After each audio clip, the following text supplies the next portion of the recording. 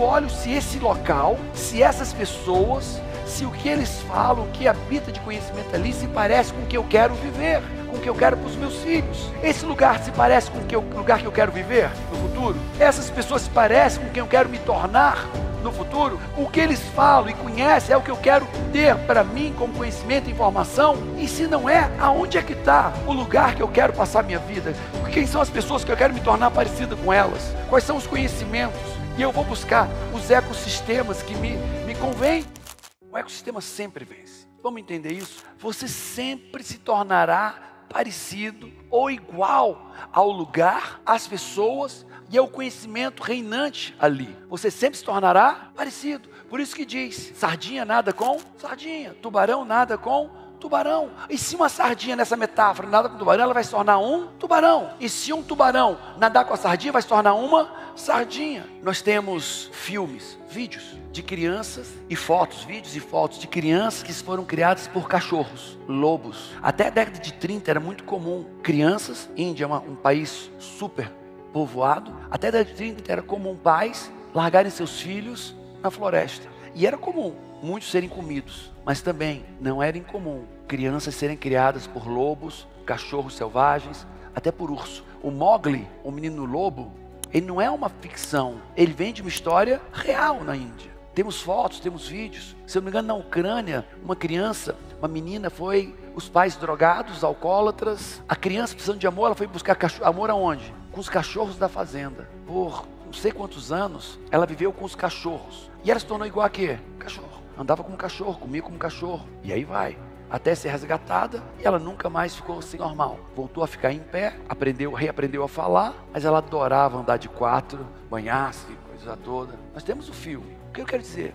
O ecossistema sempre vence. Você não vai vencer o ecossistema. Você sempre se tornará parecido com o seu ecossistema. Então, eu quero dar uma tese, uma forma de vocês pensarem. Já que o ecossistema sempre vence, os lugares e pessoas que você vem convivendo se parecem com seus objetivos e valores de vida? Paulo, como é que eu sei se eu estou no ecossistema certo? É simples. Eu olho para quê? Eu olho se esse local, se essas pessoas, se o que eles falam, que habita de conhecimento ali, se parece com o que eu quero viver, com o que eu quero para os meus filhos. Esse lugar se parece com o lugar que eu quero viver no futuro? Essas pessoas se parecem com quem eu quero me tornar no futuro, o que eles falam e conhecem é o que eu quero ter para mim como conhecimento e informação. E se não é, aonde é que está o lugar que eu quero passar minha vida?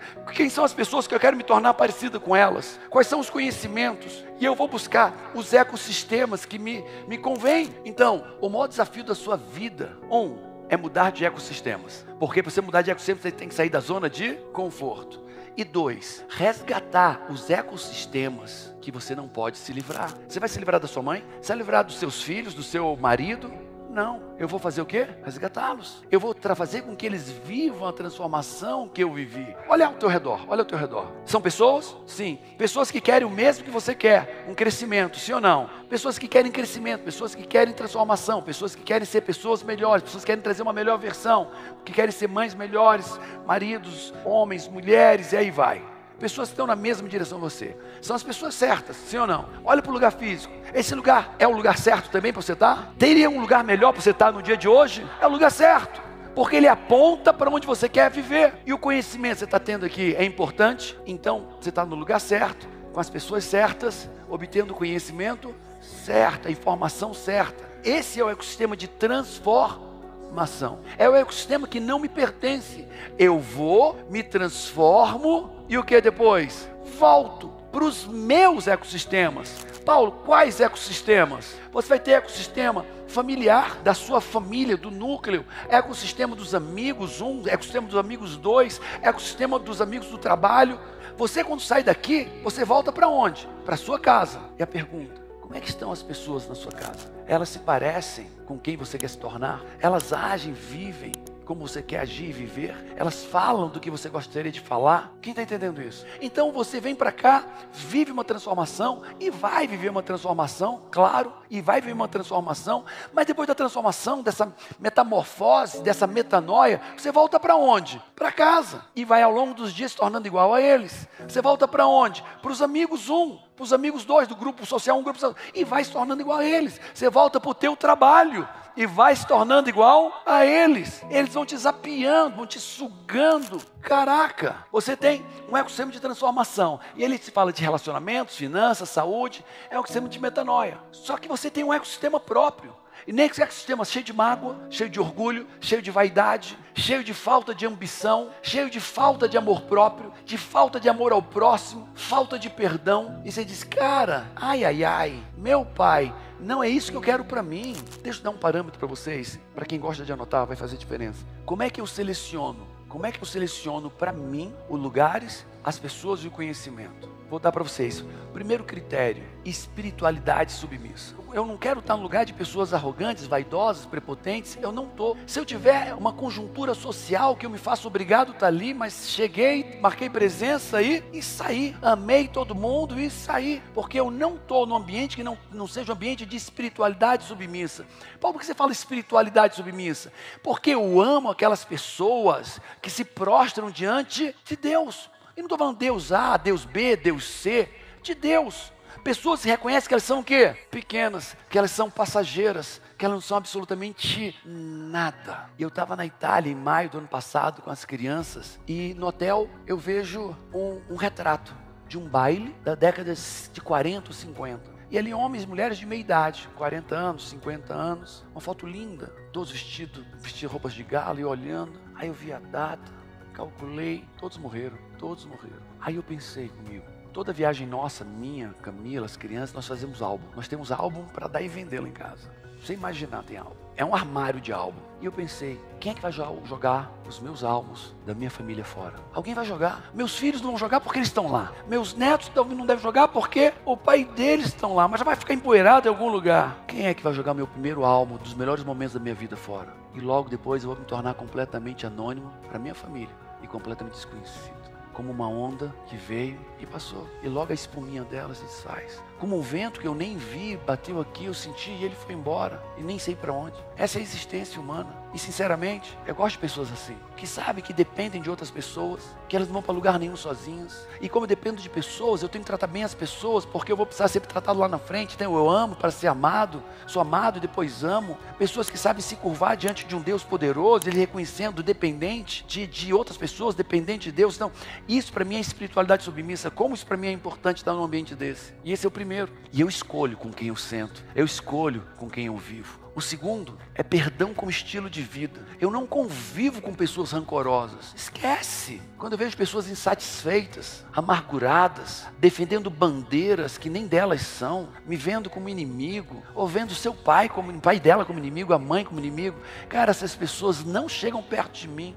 Não deixo chegar perto de mim. Eu mereço algo mais. Esse rancor é seu rancor. O mal que você faz irradia por onde você anda. É seu problema, não é meu problema. Que você busque ajuda. Que você se torne humilde, perdoe. Porque enquanto não estiver perdendo a sua vida, não tem proximidade a mim. Então, perdão como estilo de vida é um pré-requisito também para que eu viva e para que eu me aproxime das pessoas e para que eu deixe as pessoas se aproximarem de mim. Faz sentido? E o terceiro, eu quero pessoas que sejam ambiciosas, que queiram crescer.